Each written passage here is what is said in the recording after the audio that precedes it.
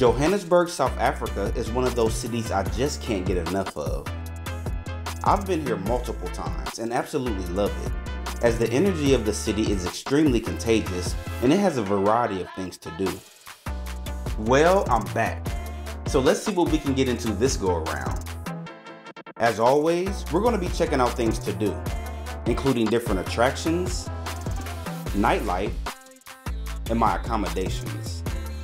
So sit back as we explore Johannesburg, South Africa. For those that don't know, South Africa is at the bottom tip of mainland Africa. It's bordered by Namibia, Botswana, Zimbabwe, and Mozambique. Johannesburg, also known as the City of Gold, is the largest city in South Africa and also the business hub of the country. So, one place that I heard a lot about during past visits but never got a chance to go is the Fourways Farmers Market on Sundays. And I'll tell you now, I've been missing out.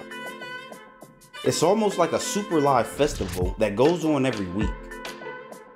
The Fourways Farmers Market is open from 8 a.m. to 7 p.m. So people start very early and typically come dressed to impress. Everywhere you go while at the market, you're going to see beautiful women, smell delicious food cooking, the drinks are definitely going to be flowing, and people are just having an all around good time. There's a grassy area where people can just sit and listen to live music performers throughout the day. And these performers are actually legit singers. Now on the opposite side of the market it's more adult friendly. This is where you're going to find both couples and singles mingling, live DJs rotating through playing the latest hits, and bartenders whipping up your favorite adult beverages. Now, in between the section with the live music performers and the area with the DJ, there are a number of food vendors selling some mouthwatering food. I'm a bit of a foodie, so I just had to try multiple spots while I was here, and literally ate until I couldn't eat anymore. There are also vendors selling clothing, art, jewelry, and many other items. The market is also right on the water, so it gives this place an all around laid back feel. Whenever I'm in Johannesburg, the Fourways Market will always be a spot I visit. Now, like I said, the market closes at 7 p.m. So after having a few drinks at the market, people are ready to party. If you saw my last Johannesburg video, then you know my favorite place to party on a Sunday night is the restaurant and lounge Saint, located in Sandton. I just love the vibe here. People are really here for a good time and aren't doing too much like at other places I've visited.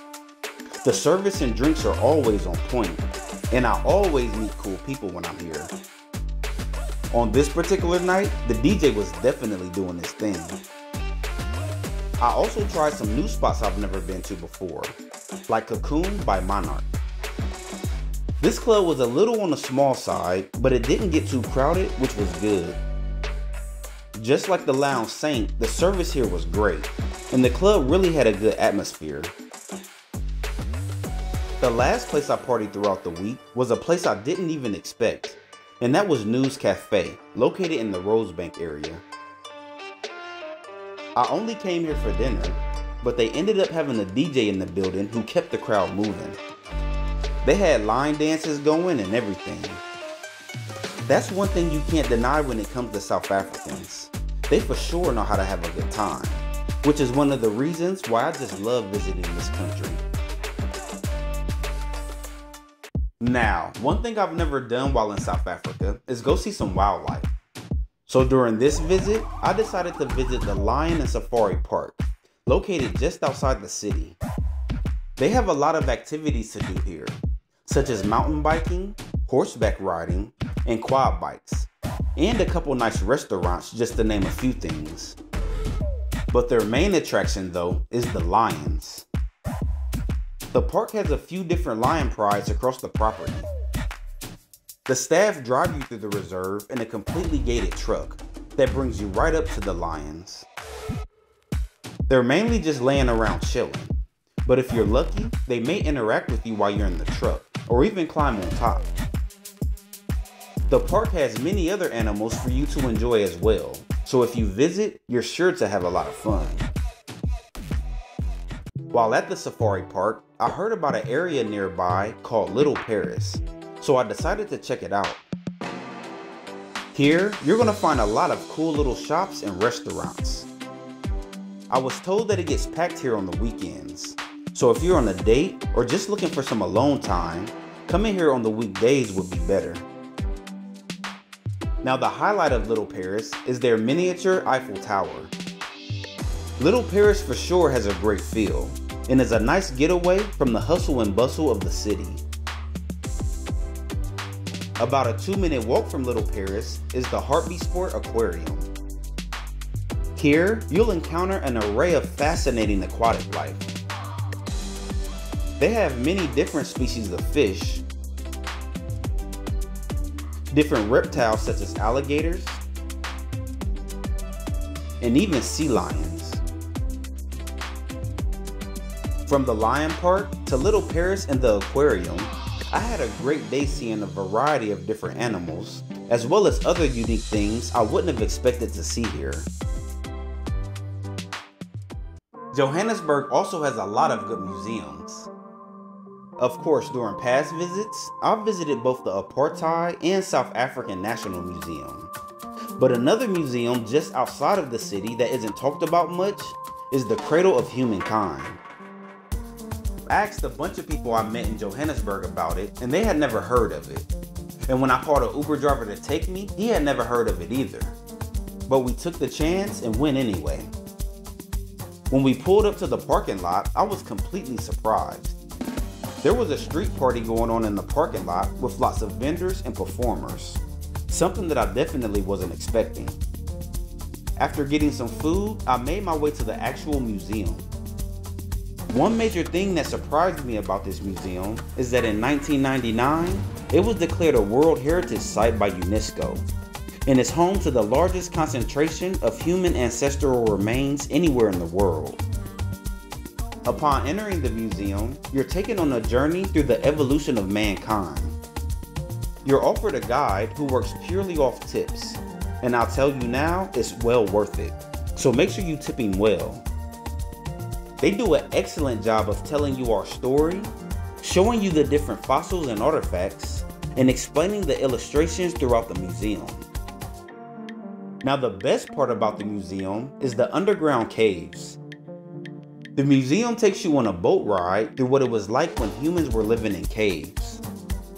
My primary camera went out during this portion of the tour, but trust me, it's great. After the underground tour, the museum continues with many very cool exhibits, before heading outdoors and wrapping things up. Towards the end, you get a chance to check out the views of the surrounding landscape, as well as views from the top of the museum. If you get a chance, you don't want to miss the cradle of mankind. Now, during past visits to Johannesburg, I've always stayed at the Hilton Hotel in Sandton. But this time, I decided to switch it up and stay at the Protea Hotel Fire and Ice property in the area of town called Melrose Arch. This was a nice little hotel, and at $120 per night, it's very affordable especially when you compare it to other hotels in the Melrose Arch area. I stayed in their standard king room. It was a little small and the shower wasn't separated from the rest of the room, which I'm not used to. But it was very cozy and had everything you would expect a 4-star Marriott property to have. The property also had a restaurant and bar that served pretty good food a gym in case you wanted to get a good workout in, and also a relaxing pool area.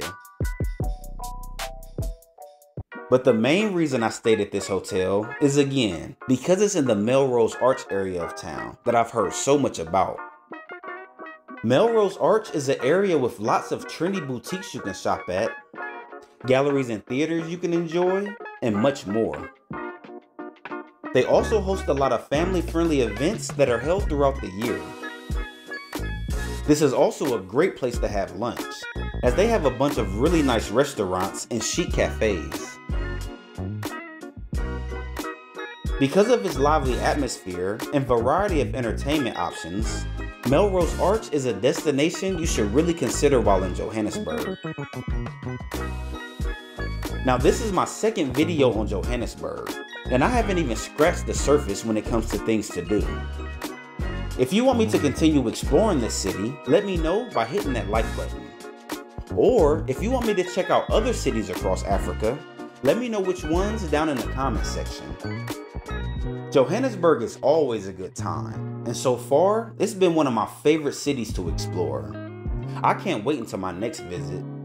I'll see you in the next video. Have a good one.